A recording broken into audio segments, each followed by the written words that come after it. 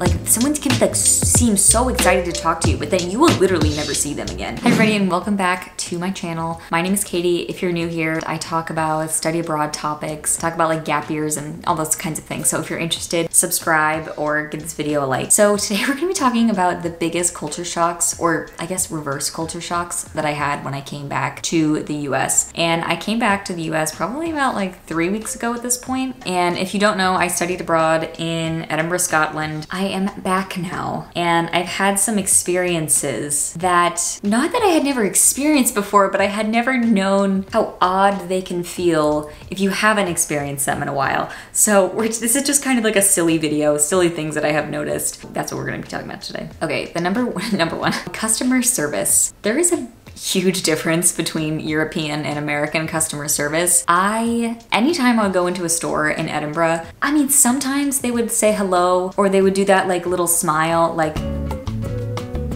that one. it really made me laugh because sometimes if you got in somebody's way, you know, like, you know when like you, like, you, I don't know, like you're in the, you're in an elevator and like one person's trying to come in, one person's trying to go out, and there's like that weird moment where you're like I don't know where you're going. I had so many instances like that where like nobody said anything. So I would just be like going in the elevator and we'd have that awkward moment and like it would be like a like it would be it would sort of just be like a silent exchange and i remember having this thought where i was like that is so odd that like why wouldn't somebody just say just like oh like sorry oh sorry let me get out of your way like both like say anything and then i also realized that like i am that person did we talk? Little talk about customer service. Okay, yeah. Uh, nobody really asks you if you have any questions. I've worked many customer service jobs and they tell you to say good morning or how to help the customer in the best way possible. And yeah, over there you just go into a shop and uh, that's that. If you want something, you, you get something. And if you don't, you leave. And um, it's just that. I went to go get takeout the other day and I was ordering takeout from this girl and the whole time she was just like, hi, can I get your order? The whole time she was smiling like this it, it, was it was giving elf. She just really enjoyed smiling. It was very very sweet. Definitely a jarring experience now that i have been away from that. Also the amount of times that if you're at a restaurant the waiter comes over to your table it just kind of seems excessive now. Usually when you go out to dinner over there it's maybe they come over a couple of times to like greet you to take your order and then you kind of have to wave them down to get the check. They just let you sort of stay as long as you like and i really sort of liked that attitude. Sometimes I can feel a bit rushed in certain scenarios. So that is something that I did really like about culture in the UK and just Europe in general. But uh, we definitely have like much sunnier dispositions here when it comes to customer service. Number two is going to be the size of the food and portion. This is like such a classic one that people always say, but I really forgot. Every single time I went out in the UK, I pretty much never had leftovers. I would just eat the whole thing, which I never did before. Coming back here, I went out to dinner with my parents and I really could only finish about half of my portion. And that's pretty much with everything here. I have a lot of leftovers again, which is kind of nice. I love leftovers and especially like if it's something really that you enjoyed in the restaurant, America kind of slaps for that. Number three is something that I experienced driving down to South Carolina. I am originally from Washington, DC, but I go to school in Charleston, South Carolina. And so it's about a 10 hour drive from city to city. And going down to the South, once you pass about maybe North Carolina, you just start to see all of these billboards for Jesus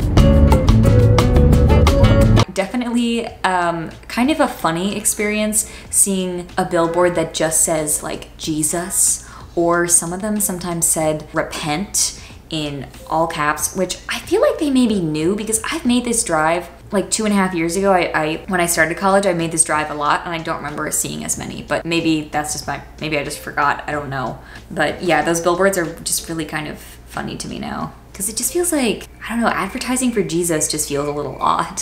Number four is going to be small town people saying hello to you. So I was just up in Maine for a week with my parents and we were in a very small town. Going out, and I'm gonna say this is this is a generalization about Americans. This doesn't happen in big cities. In Charleston, it can happen from time to time, not all the time, especially when the city's really busy or packed with tourists. But if you're walking around like a Sunday morning, people will smile at you or say good morning, especially if you're like one of the only people on the sidewalk. But when we went up to the small town in Maine, every single person that we passed at full volume said, Good morning, how are you? And I didn't know what to say.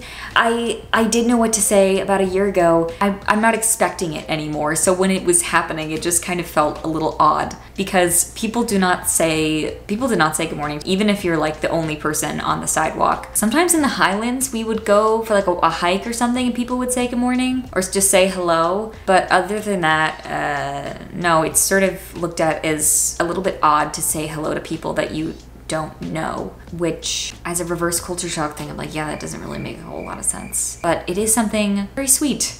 In this town, we were walking down the street and somebody actually in a car rolled down their window to say good morning to us, which is just I, it's kind of nice. That is kind of nice. I'm definitely more of an introvert, so I'm like, nobody talk to me, but I will happily say good morning. I think it's very nice. Number five is small talk. Small talk is a skill. It is a game. It is a religion. People really will just stop you on the side of the street here and tell you their whole life story. People that you meet, you know, just for a couple of minutes even in customer service interactions, you can get somebody's like whole life story in like 30 seconds. Yeah, that's just, there's less of that. There's still small talk, but maybe it's just in a different sort of form. A lot of these things I like don't really know how to articulate because there is still small talk in the UK, but it's just not the same. And it, you can be like super duper cheery with a stranger. Like someone can be like seem so excited to talk to you, but then you will literally never see them again. That's maybe the best way to put it. Number six, this was at my college. This was just a really fun moment to walk back to. And it was this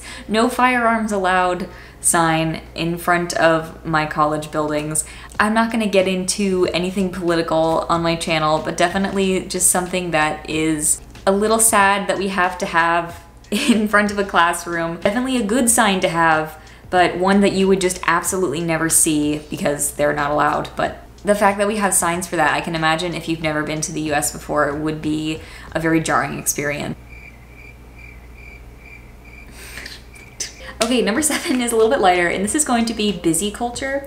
So it's definitely interesting how many people already, it's always like a sort of a humble brag to be like, oh, I'm like so busy. And I've definitely started to notice that a lot more. Uh, I am a pretty busy person this year. Um, however, I I really relish in moments where I don't have anything to do now. And uh, I don't know, just something that I have noticed that people are very much proud of having a lot to do and having a lot on their plate. If you like this video, please give it a like and comment down below if you want me to maybe do like a part two or if you have experienced any other like reverse culture shocks or just culture shocks if you've ever been to America or you know anywhere else. Subscribe if you are not already and give this video a like and um, I will see you next week. Okay. ba